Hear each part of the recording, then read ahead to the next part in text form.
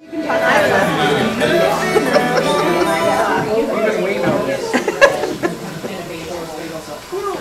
good. All right. Hey, good morning. Good morning. You guys glad to be here? Yep. Yeah, I'm glad too. I saw you rolling in like thunder. That's right, Rolling Thunder. Right, Bill? That's right. That's right. Uh, there's an inside joke on that one. Okay. Hey, so uh, just a reminder, we've got these little invitation cards over there. So uh, I think Andy was handing them, handing them out by the dozens this morning at Walmart, from what I hear. So uh, they're right over here. Use those as much as you like. And then uh, the VFW actually told us that uh, they're doing a blood uh, donation um, here on March 21st, 10 a.m. to 2 p.m. So if you're interested in doing that, I'll put that over there as well. And they're also doing a breakfast at the VFW here, $10 a plate on March 25th, and I'll put that over there as well. We just told them we'd, we'd let you guys know. And then, um, let's see, what else? Hi, come on in. Wave everybody to Nicole. Hello, Nicole. We love you, Nicole. All right. We've, we've been told it's really just awkward when you come in a little bit late, you come in in front of everybody, they, we've had a few people tell Eddie he needs to turn it around or something. So we're just gonna embrace people as they come in. We'll embrace the awkward. The- Embrace the awkward, that's right. Um, And then, um, I don't mean to point you guys out, but if you haven't met Nate and Crystal Woodland over here, and they're girls, wave. They they live down, the- they live down the street from us on, on Pulfer, and we've had the privilege of getting to know them a little bit over uh, the last few months. And so if you have not met them, you're missing out, so please do. And they're just wonderful people, and their girls are really sweet too. All right, well, let's, uh, let's open up in prayer.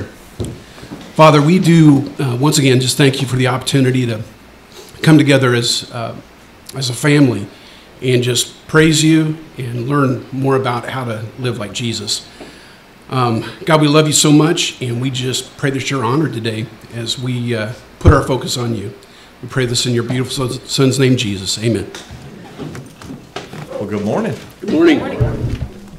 Tim, if you'll just grab the microphone and pull it closer, it, it works. That's what microphones do when you're the closer you get. Thanks for the instructions. I, I just thought I'd help you out with that. I know that this, this is a complicated piece of equipment to work. Um, I'm just teasing you. Well, I hope you guys had a good week. Everybody have a good, good time this week? Good week?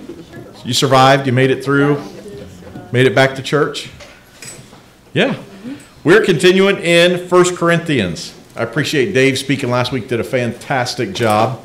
Always enjoy it when Dave and Tim and you guys, uh, I always, have- we have an open policy. Whenever they've got one ready, they tell me and we put it up as soon as they want to. So I love it. It gives me a, a chance to listen to them and for them to get to share what God's laid on their heart. And I know you guys enjoy it too.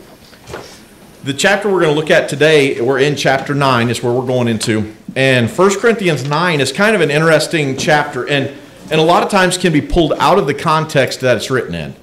And if we pull it out of context, we can make it into something that it's not. So, in order to understand this chapter, we've got to remember our principle of Bible study, which is three words. Anybody remember what they are? Context. Context, Context context, and context. Context. Yep, it's real, real tough, real tough to remember. We got to remember the context of not just the setting that it's happening in, but what's happening on either side of it. So we got to look at the chapter before and the chapter after to understand what's going on. So this chapter works with chapter 8 and chapter 10. It's not a standalone where, you know, Paul went squirrel or got, you know, chasing rabbits or something else like that. I read a commentary this week um, that puts these three chapters together, and instead of trying to remember the story to tell it to you, I wanted to read it to you because it was so good. Here it is. Imagine this scene. You're a member of a baseball team playing its most important game of the season. It's the bottom of the ninth inning. The score's tied. The bases are loaded. There's no outs, and you're up to bat.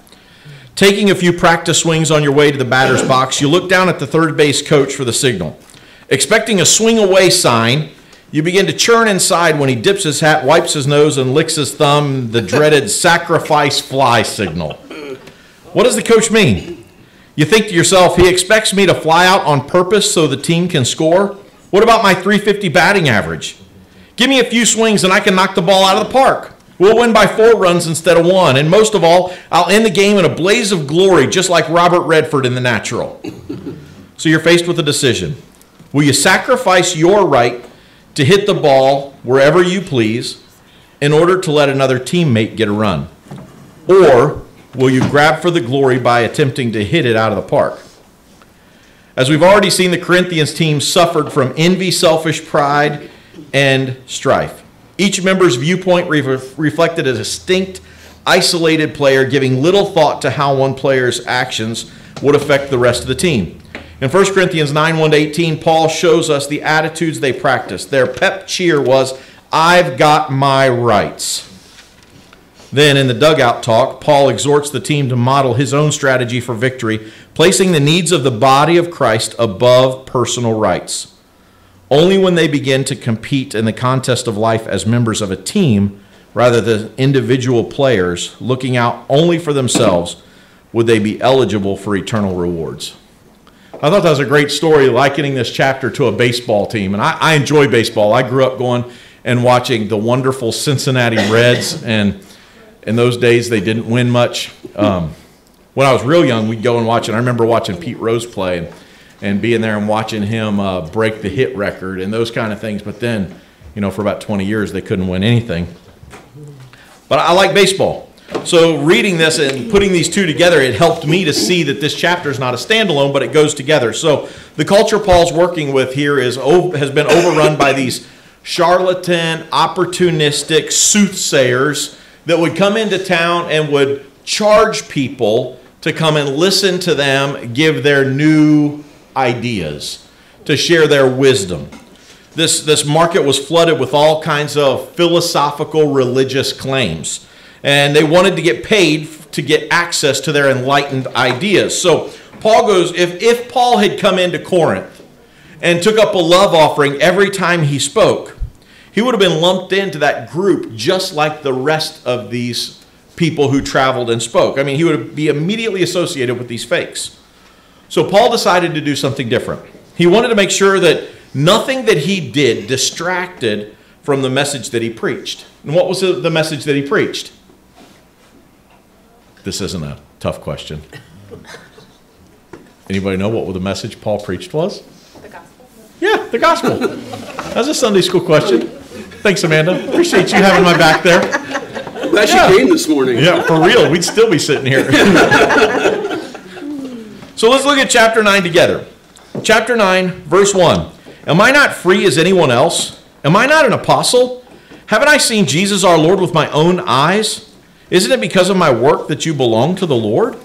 Even if others think I'm not an apostle, I certainly am to you. You yourselves are proof that I am the Lord's apostle. I mean, Paul starts by defending his authority as an apostle of Jesus. Verse 3 This is my answer to those who question my authority. Don't we have the right to live in your homes and share your meals? Do we not have the right to take along a, bereave, a believing wife and do the other apostles and the brothers of our Lord and Cephas? Here's another verse. Remember how we, we talked about a few weeks ago, and I said that some people believe that Paul had had a wife at one point in his life? This is one of the verses that they use that kind of help uh, support their claim. Verse 6 Or is it only Barnabas and I who have to work to support ourselves? So now Paul's defending his right as a minister to receive pay, and Paul dealt with this in 1 Timothy as well. 1 Timothy 5:17, he said, Elders who do their work well should be respected and paid well, especially those who work hard at both preaching and teaching. So let's go on. Verse 1 Corinthians 9 7. What soldier has to pay his own expenses? What farmer plants a vineyard and doesn't have the right to eat some of its fruit? What shepherd cares for a flock of sheep and isn't allowed to drink some of the milk? Am I expressing a, merely a human opinion, or does the law say the same thing? For the law of Moses says, You must not muzzle an ox to keep it from eating as it treads out the grain. Was God thinking only about oxen when he said this? Wasn't he actually speaking to us? Yes, it was written for us, so that one who plows and the one who threshes the grain might both expect a share of the harvest.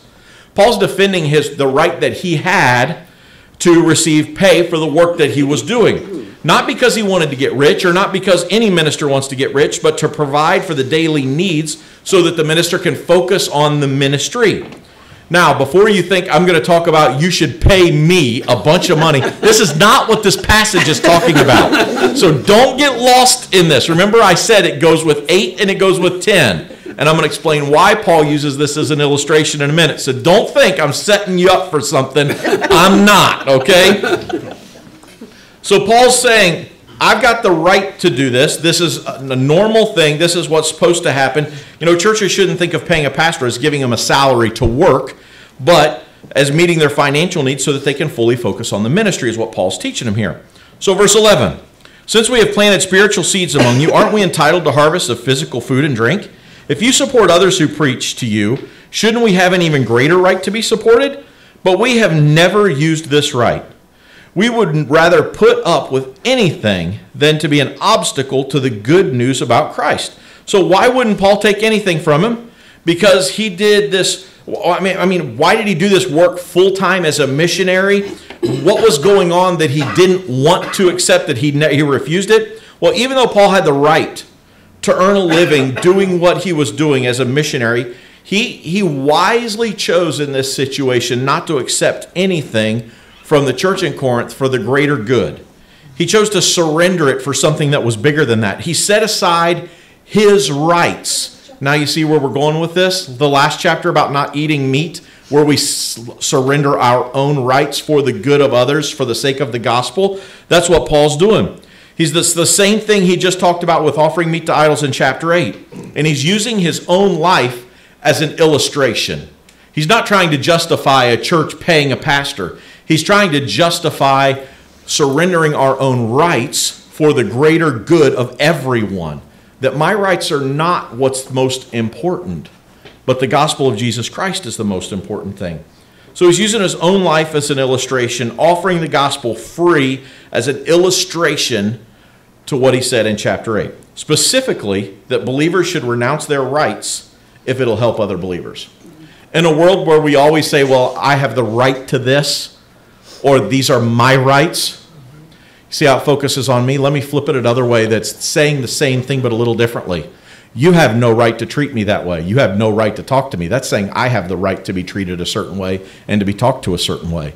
And Paul's saying, I'm setting aside all of my rights, all of the things that are right for me, all of the things that I deserve, all the things that I could claim, so that there's nothing that could make you stumble at the gospel. Because serving our brothers and sisters matters more than our rights to do anything. Putting others first. Because what Paul's teaching is that love trumps freedom. Love is much more important. Verse 13 Don't you realize that those who work in the temple get their meals from the offerings brought to the temple, and those who serve at the altar get a share of the sacrificial offerings? Even the pagan priests, if you go all the way back in the Old Testament, that's how the priests of the, the Israelites were fed was of the, the stuff that was brought in as a sacrifice. They would have a hook, and there's this whole thing that, that it's an amazing story if you read it. But if I just tell it to you real quick, it'll bore you to tears. Um, so let's just say they ate off the, the sacrifices, and so did the pagan priests. They would eat of the sacrifices that came in. Remember, they would sell the meat that was used. Well, they also kept some of that for themselves. So even pagan priests would eat from the sacrifices. And the Corinthians would definitely be getting what Paul's saying because they've seen this done their whole lives. Verse 14 In the same way, the Lord ordered that those who preach the good news should be supported by those who benefit from it. Yet I have never used any of these rights. And I am not writing this to suggest that I want to start now. In fact, I would rather die than lose my right to boast about preaching without charge. Paul said, I would rather die than take a penny from you because you can't tell me what to say and you can't tell me what to do because you don't pay me. So there's nothing you can do that's going to affect me. I would rather die. That's pretty strong. I've never heard a pastor say that before. what verse were we on? oh, let's see. Uh, verse 16? Is that where we were? Yeah. Yeah, okay, thank you. Uh, yeah, I got distracted by that. Yet preaching the good news is not something I can boast about. I'm compelled by God to do it. How terrible for me if I didn't preach the good news. Paul was a bivocational guy. He made tents to support himself, and so he, and he did it to make sure that there was nothing that he did that would hold these people back from responding to the message that he was preaching. He didn't want them to look at him differently. Again, in this culture with these traveling teachers who would come in and demand money so that they would share their enlightened ideas, that was the normal. Paul wanted to be different. He didn't want to be lumped in with that crowd. So he said, I don't want anything from you. I just want you to hear what I am saying. And he was sharing the good news about Jesus Christ. That's different. He gave up his own rights. He, I mean, think about it.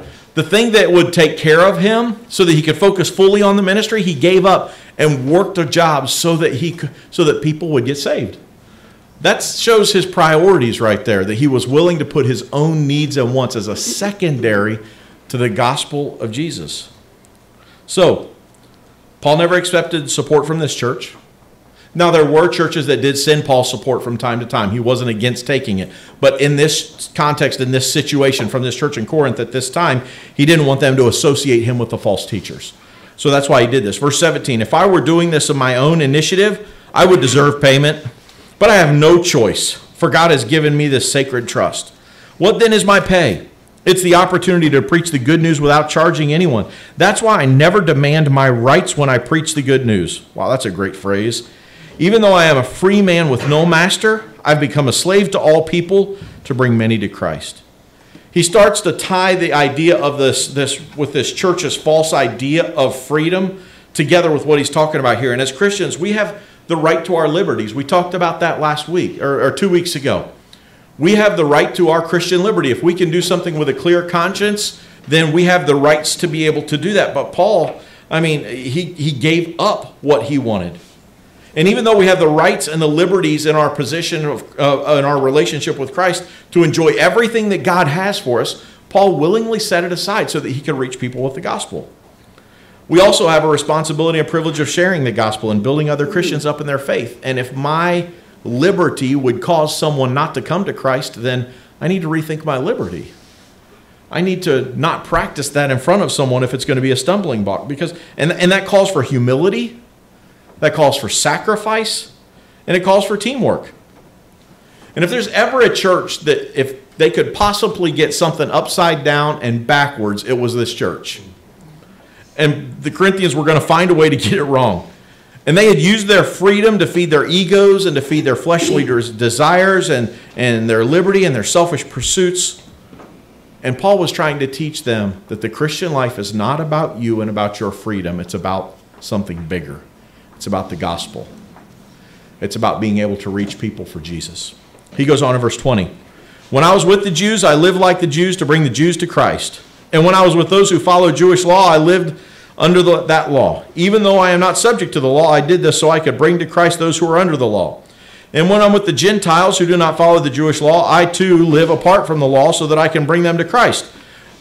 I'm going to stop right there because so many people take these two verses to say, well, Paul was everything to everybody, so we should just be everything to everybody. So if somebody's, you know, at the bar hanging out, I can go do that with them because Paul said I'm supposed to be all things to all men. You know, they're at the strip club down there, so I'm just trying to serve Jesus. Yeah. but what does Paul say? It, it, Paul said, this is about the law, living under the Jewish law. When I'm with the Jews who live under the Jewish law, I, I, follow the Jewish law, the dietary restrictions, all the other stuff. When I'm with the Gentiles, I don't follow that because I don't want to be a stumbling block to them. But here's how we know Paul wasn't involved in their sin by the next phrase. But I do not ignore the law of God. I obey the law of Christ. No matter who Paul was with, he always obeyed the law of Christ. He didn't get into sin to reach people with the gospel. He just put away stumbling blocks that Christians can have to keep people from coming to the gospel. When I'm with those who are weak, I share their weakness, for I want to bring the weak ones to Christ. Yes, I try to find common ground with everybody, doing everything I can to save some. I do everything to spread the good news and share in its blessing.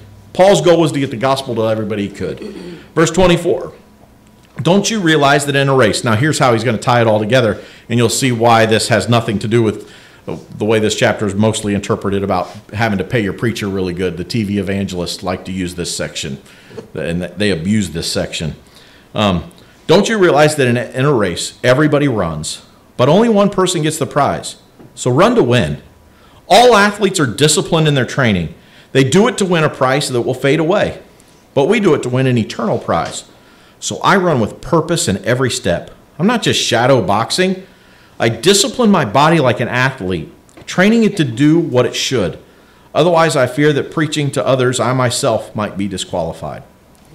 Paul uses the illustration of, uh, of his purpose, uh, about Paul's uh, his race here that he's in. I'm, every step has a purpose. And his purpose would have hit home with these Corinthian people, this story, this illustration would, because Corinth was only 10 miles from the site where they held the Isthmian Games.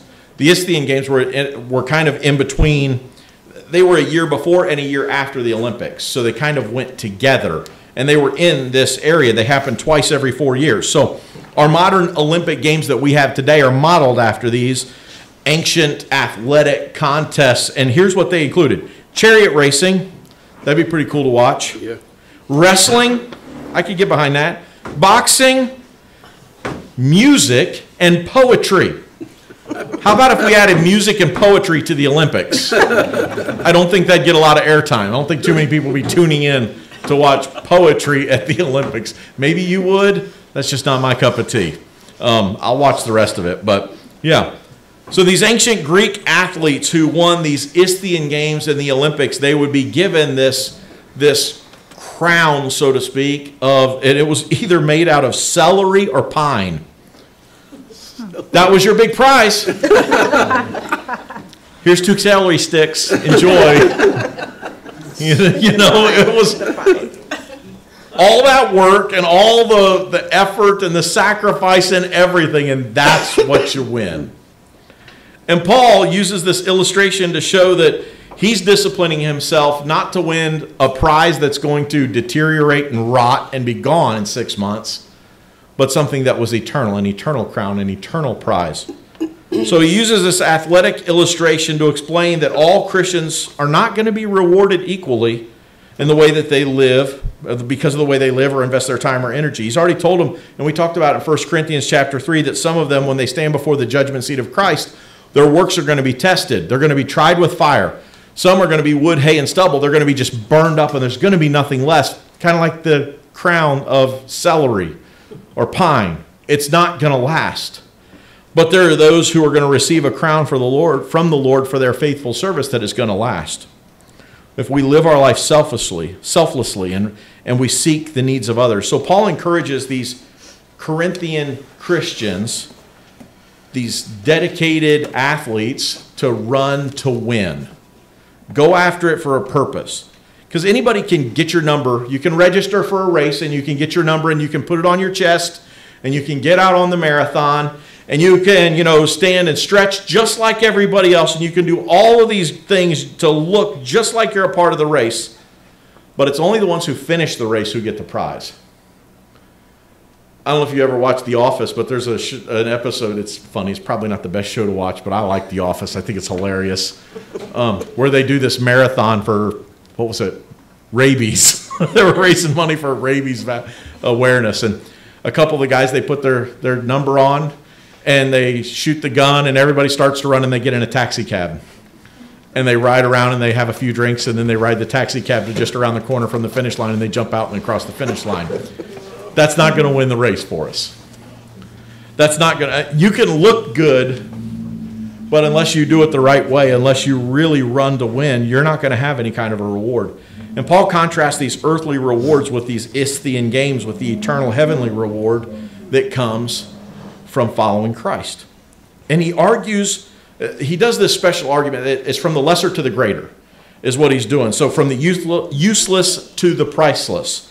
So if those rewarded with this withering wreath that's not going to last, that's going to fall apart, if those people would discipline their bodies, if they would give up things that they enjoy, foods that they like, training day after day after day, out running. I mean, running. Nobody likes to run. if I'm running, you better run faster than me because something really bad is happening behind me.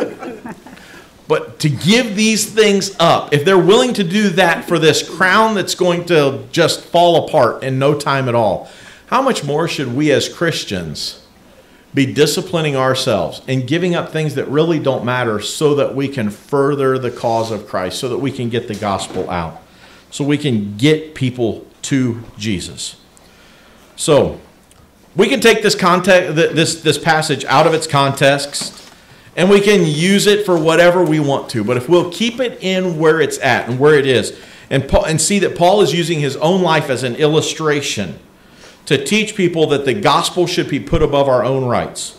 If we'll can, and see that he's continuing his thought about abstaining from meat that's offered from idols, then there's a couple things we can see in this passage that we can apply and we can learn and we can grow together and see what Paul's really teaching us. So, here's the three thoughts that I got for this morning. I'm just going to hit them quick and we'll be finished. Here's the first one Just because I have the right to do something doesn't mean that I should do it.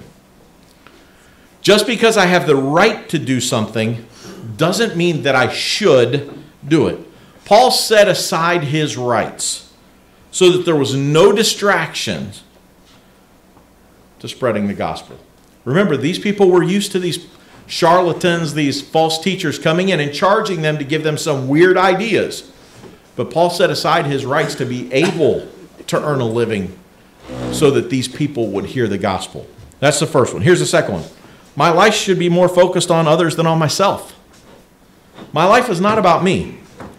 Paul said when he was with the Jews that he followed the Jewish laws, and when he was with the Gentiles, he didn't follow the Jewish laws. Why? So that he could reach them with the gospel. That doesn't mean he participated in the things that were sin. We talked about that because he said that he always followed the laws, laws of Christ. But what he did is find common ground. He made a connection with them, he became relational. He, he got to know them, he had rapport with them so that he could show them a better way of life, following Christ. It's a beautiful picture of love. He loved them enough to give up his own freedoms around them to reach them with the gospel. He put the needs of others ahead of himself. Here's the third one. Loving this, living this kind of life requires discipline because it's not easy. Does it say loving or living? It should say living. The person who typed these just messed it all up. They did my notes too. That was me. Um, living this kind of life requires discipline because it's not easy. Training like an athlete for these Isthmian Games or the Olympics is not easy. I mean, there's a lot of sacrifice, giving up comfort, exercise, training. You can't sit on the couch watching TV with your half gallon tub of ice cream and your Doritos and expect to win at the Olympics, right? Unless we're, we've entered the new Big Splash competition or something like that. Um, it's not going to work. You don't see professional athletes living that kind of life that, it's not going to work for them during when they're training. It all comes down to, to the prize. What do we want at the end? Do I want the crown at the end? Do I want to stand on the platform and hear my national anthem played and get that gold, whatever it is, around my neck, that award, that trophy? Uh, do I want to win the gold medal or do I want to what? What's my purpose? Because it takes sacrifice, commitment, blood, sweat, and tears. But it reminds me of the old hymn from years, years ago that says, It will be worth it all when we see Jesus. I wrote the words down to that old hymn, and I want you just to listen to them. Don't think about them as a song, just listen to the words. Because that's the problem with a lot of songs is when we get used to them, our brain goes into neutral and we just sing them and we don't think about what we're saying. So just think about this. Oftentimes the day seems long and our trials are hard to bear. We're tempted to complain, to murmur, and despair. You ever been there? You ever been tempted to complain, murmur, and despair? Daily. But Christ will soon appear to catch his bride away, all tears forever over in God's eternal day. Sometimes the sky looks dark, with not a ray of light. We're tossed and driven on. There's no human help in sight. But there is one in heaven who knows our deepest care. So let Jesus solve your problems. Just go to him in prayer. The third verse Life's day will soon be o'er and all, all storms forever past. We'll cross that great divide to glory safe at last. We'll share the joys of heaven a harp, a home, a crown. The tempter will be banished. Boy, that'll be awesome. We'll lay our burdens down. And the chorus says, It will be worth it all when we see Jesus. Life's trials will seem so small when we see Christ. One glimpse of his dear face, all sorrow will erase. So bravely run the race till we see Christ. So let's talk about it. What do you think about this chapter? What jumps out to you? Not everybody all at once. One of the things that kind of came to me when you were talking about, uh, Paul not accepting any payment Mhm. so that he could be focused solely on ministry. You can't do that unless, like, you, you can't give a ministry that you haven't prepared for unless you're getting a word from somewhere. Mhm. Yeah. And that's kind of proof that God's in his, in his ear. Mm-hmm. Very good. Very good. Who else? Something jump out at you?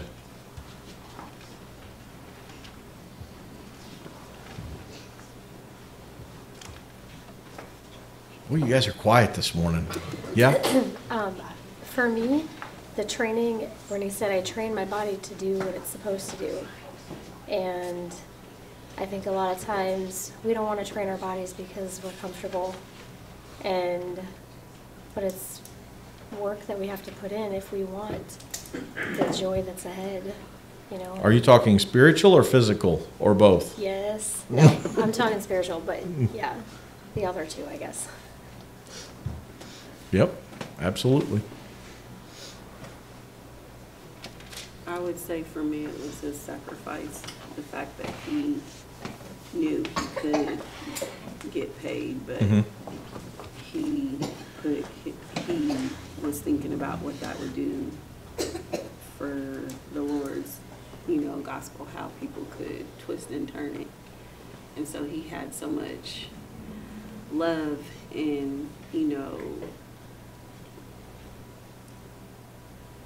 admonishment for the Lord that he wanted to honor his gospel in a way that he was like, I'm not gonna allow anybody to twist and turn, hmm you know, what I'm trying to do. And that's hard.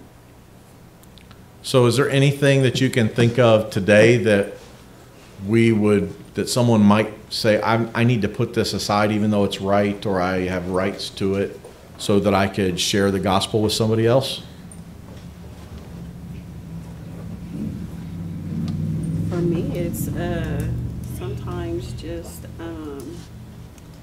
Kind of back to what you said on feeling like you deserve to be treated a certain way. Okay? And so I find myself having to deal with that all the time. Because in one sense, it's like, okay, but when is enough enough? you Mhm. know, if someone mistreating you, but yet you always being the, taking the higher road and doing the forgiving Mhm. and, you know, that's a hard one. for It is, A very hard one for me very. because then I struggle like, okay, I know that I have to be forgiving. I know that I have to, you know, still show God's love because he did it for us when we were crucifying his son, you Mhm. know. But then I think, well, like, how much do I have to keep doing to the point where now it's emotionally making me have hate or anger or bitterness in my heart? You know what I mean? So it's like, what's that fine line? of standing up for myself so I don't get to that point, but also still being able to take that higher road Mhm. and, you know, still love on someone even though they might not be in their believer. You know, I can understand if it wasn't a believer, but that's where I start tussling with is if you're a believer and you say you're a believer and you say, you know, that you believe Jesus died on the cross for your sins and you're trusting in God, then at what point do I keep just allowing that to happen? That's a good question. Who, I'm not gonna answer it. I'm gonna see what you guys have to say about that. Because that's a good question. Who has something that you can share about that? I don't know if this helps entirely, but this week, the ladies and I that got together Friday, one of the things that I read was, it was talking about consequences of sin, but I think it's still applicable. When we're suffering consequences from our sin, God knows when enough is enough, and He steps in. So hmm. maybe in your situation, God knows when enough is enough of what you can handle. And I guess just keeping our eyes on Him and asking Him to fight that battle for you. And He knows when enough is enough. That's good. That's real good. Anybody else have a insight on that, or?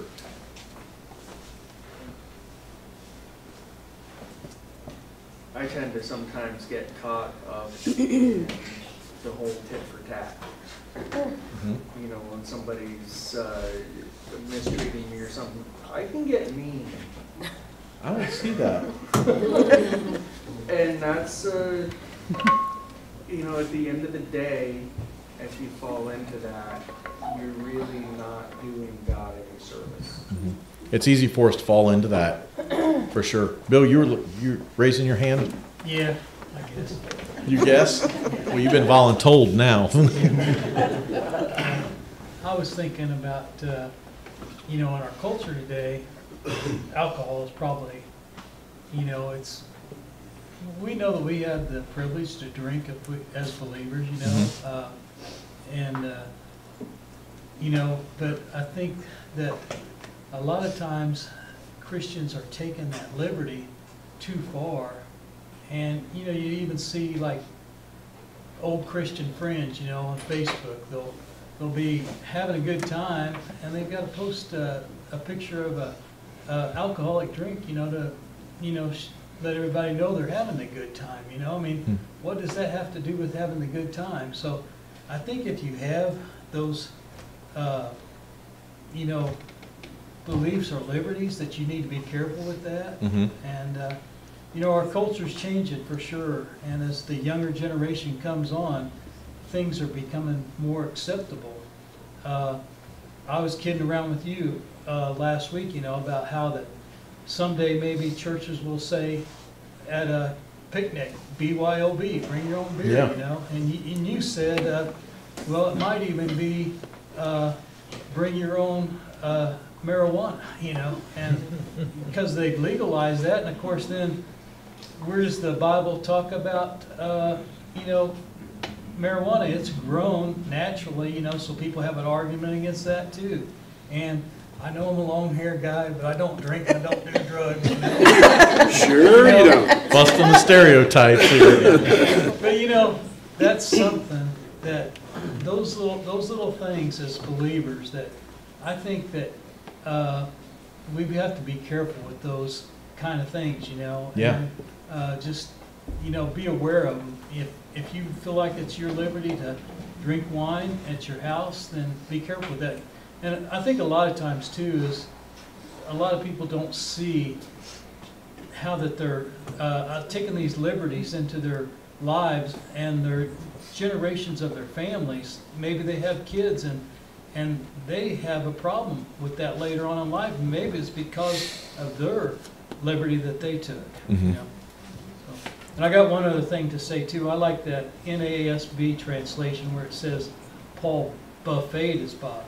You know. Buffeted. I think that's pronounced buffeted. And it has to do with beating, not feeding. Oh, But I, I like the other one too. That's good, Bill. I think a lot of people equal um, American rights a lot of times with God-given rights, and they get it Mhm. confused. And they're ready to stand on some kind of pedestal because it's an American right. And, you know, we don't want to let a lot of those go either. We don't want Mhm. our country to go down the tubes, but that's not my, that's not something I'm going to die upon. And uh, I think especially since all those things we went through, it's like, uh, um, with all the rules and all that, and just things, people just got, Christians got crazy about it, about, you know, I'm like, where is that in the Bible? Hmm. Paul was a great example of that. He was a Roman citizen, but he never brought that up until he was about to be killed. I mean, he had the right, he had, if anybody had rights, he had rights. No one could have laid a hand on him. No one could have beat him. All he had to do is say the word and they could have, they could have been in serious trouble. But instead, he chose, because he's the one who says he's an ambassador of God's. And that means our home is not of this earth. And he only used that when it was, uh, to appeal for his life. But yeah, there's there is a version of American Christianity that is so far removed from the Bible that it's scary. I agree with you, Pam, big time. I think it kind of has to do with everybody's got rights. But at some point in life, Satan can take a right and turn it into a vice very easily. Mm-hmm. And it's- We just have to watch out for that line. And it's really easy to see that line once you've crossed it.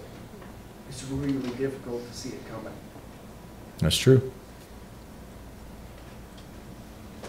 Anybody One- else? One quick comment about Nicole's, um, Yeah. she brought up. I mean, there's a difference we- between being abused and then maybe suffering for, Without question. you know, Christian testimony at work or something like that. God is never asking you to stay in a, an abusive situation where you're being harmed. Absolutely. And so there should be no guilt about removing yourself from an environment like that. Um, You know, the, the forgiveness of, uh, of that person or whatever, that's, that's a, that's a different, that's almost a a different issue. Doesn't mean you have to stay in that. Yeah, absolutely. The Bible says to turn the other cheek, but it's not talking about putting yourself into a position to be abused. Yeah. I don't think there's ever a, a right or a reason to stay, to willingly step back into something where you know you're going to get abused. Yeah. I agree with that 100%.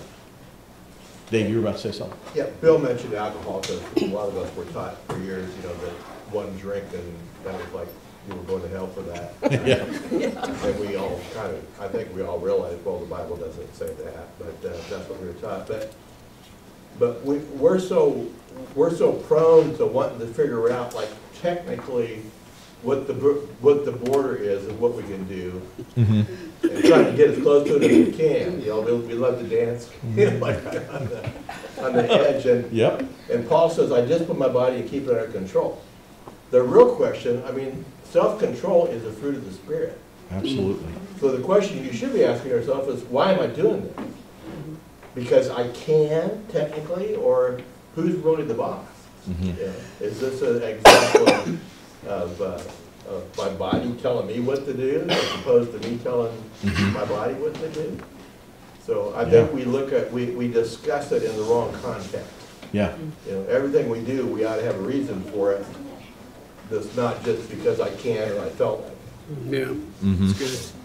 There was an old preacher back um, late 1800s who told a story, and my dad's used the story, and a bunch of other preachers have used it too, about a very wealthy man who needed a chariot driver, somebody to drive his, his horses, and he would ride in the in the back of the carriage. So he would he he was looking, so he advertised this cliff, this really steep road that had just a sheer cliff on it. He wanted to see who could drive up that hill and see how good they were and how close they could get and all this stuff.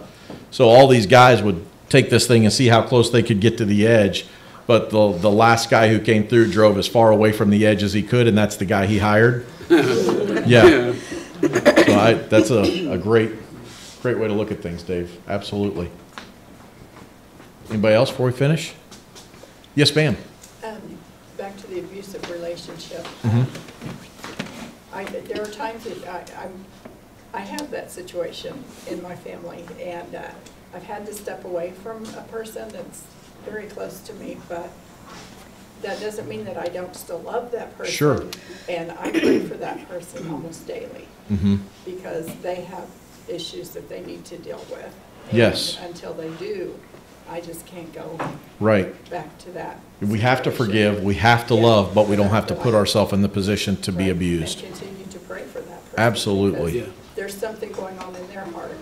Yes, ma'am. They need help with. Yes, ma'am. Very good, Judy. Thank you. Anybody else? Who's wrapping up today? Brad, Brad's wrapping up. All right. he visits and he gets to be put to work. We'll show you. You come and visit with us. You're gonna have to Okay, let's pray, guys. Heavenly Father, thank you for this time to get together for fellowship, Lord. Thank you for the freedom to do so. We ask you to just go ahead of us this week and give us the strength and boldness to be ambassadors for your name and your kingdom. We ask all these things in your name, Jesus. Amen. Amen.